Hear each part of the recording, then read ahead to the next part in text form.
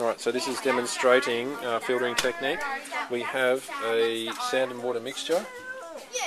Okay, basically suspension. We have a filter funnel, funnel, conical flask, and Aiden here, face isn't in it, mate, is, uh, has just made us a paper cone out of filter paper. Can you just show us the cone there? Very good. So if you can pop that into the funnel. Excellent. Now, um, Aiden, we just need to mix that up a bit with the stirring rod. Yep, two minutes please. Give it a good mix. So it's all suspended. Mango juice. And then what we want to do is uh, filter out the sand from the water.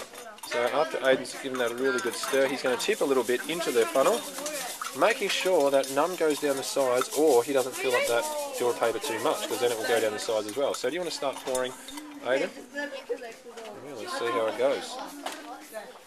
Let's do the same.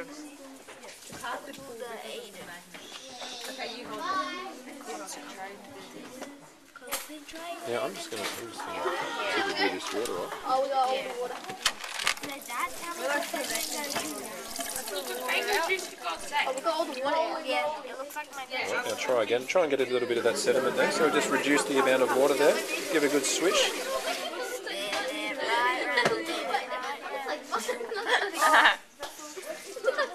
Yep. Try and get some of that sand in there. Just tip it up, tip it up, tip it in. Go. Some of the sand will come out as you tip. Keep tipping. The sand will come, the sand will come. It's gonna come. Keep tipping.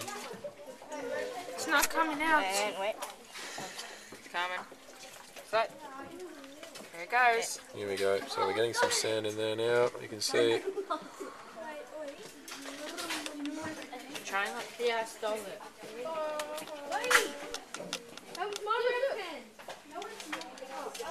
Okay. Alright, that'll do for now.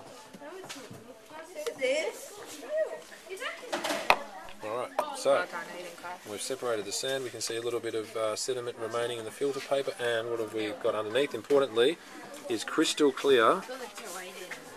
Yep, crystal clear filtrate for the water. So water separated from the sand and the sand. So it's a successful technique. Your hand it around in there to show me that it's mixture. So what we've got in here is a mix of corn and rice, uncooked of course. Um, and we want to separate that using a technique called sieving using this sieve. Okay, so this technique is sieving. Now if you wouldn't mind filling up the sieve with the mixture. Yeah, your faces are not in this by the way.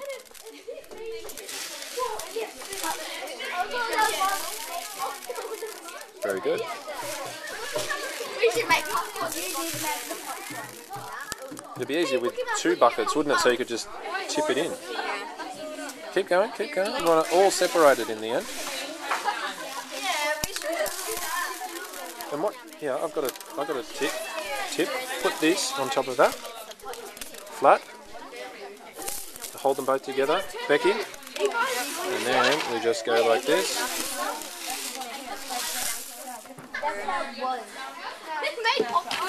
Now slide your book away. Tip any rice that's come through in. And then start sieving. Sieve, sieve, sieve. Okay. All done? Lo and behold, we have the rice completely separated and show us the corn. Brilliant. Very good. Simple technique called sieving. I want you to separate the corn and the water using that sponge. Okay, how do you do it? Without without putting any of the corn down the sink. Just put the sponge in there and it'll absorb up the water. And squeeze it out where? Where are you going to squeeze out the water though? In the sink. Thank you. Go, do it. Show me.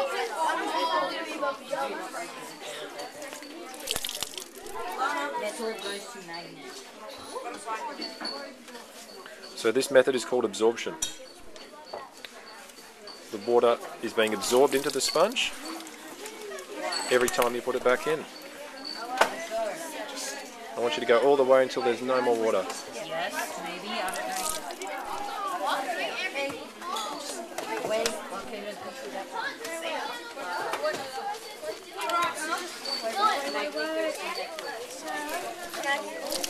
Almost. Might have to tip it up a little bit. Yep.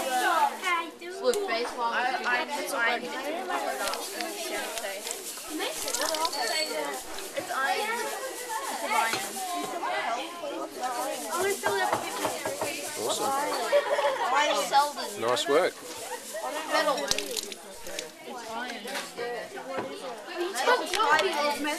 Just shake it around so you can show me that it's all gone.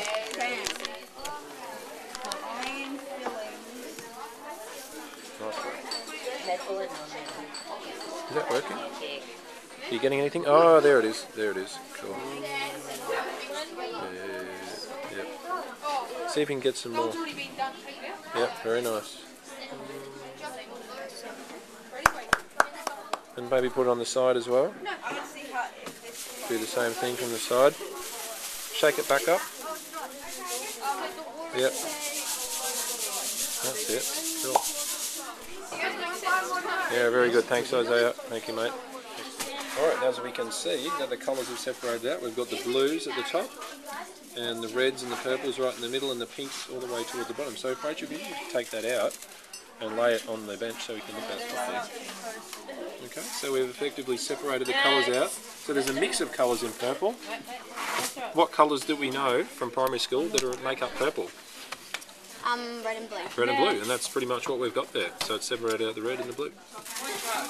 More or less. Hang on, hang on, hang on. Okay, so this is chromatography technique. Just move your hand away, please, Rachel. Um, so what we've got is a bit of chromatography paper, and we've just got a beaker with a little bit of water in it. And we want to separate the colours that are in the dye, the ink, in that pen there. So Rachel's going to put a dot uh, about there, so it's above the line of the water. Go, Rachel, put a dot. That's the thing. Excellent, perfect. And now we're going to place the chromatography paper into the beaker, so that the dot is just above the water. Magnetic over the container of iron. Yep, that's it. And yep, if you can hold it there and watch. Might want to come around here, Courtney. Watch as the water sucks up through the paper and starts spreading out the dye. And you'll see that it will go up the paper, it'll go up, up, and up, and start separating out all of the colours. Let's see if we can get that. At the moment, it's just all sort of colours, shades of shades of pink. Damn it. I'm just going to talk about this. This this uh, station is called evaporation, and as you can see, we've got a beaker of salt water, salt and water mixed together. So that's your mixture, and we're just pouring it into this evaporating dish, which is constantly boiling. And I don't know if you can see on the video, but you can see that there's a crust of salt building up around it. As the water evaporates, we're left with the solid salt. And if we just keep tipping on more of the water, salt water, then we're just going to keep adding more and more salt. So this salt is going to continue to build up. So that's evaporation. Okay. Okay, so what we've got here, as I said, is a mixture of food and water, food dye and water, sorry. Can someone tell me what process is going on in this bulb? Evaporation? Excellent. So we've got evaporation.